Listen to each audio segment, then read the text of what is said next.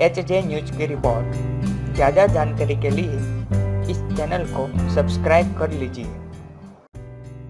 शुक्रवार को master blaster Sachin Tendulkar की लाइफ पर based film Sachin dollar billion dreams release हुई है।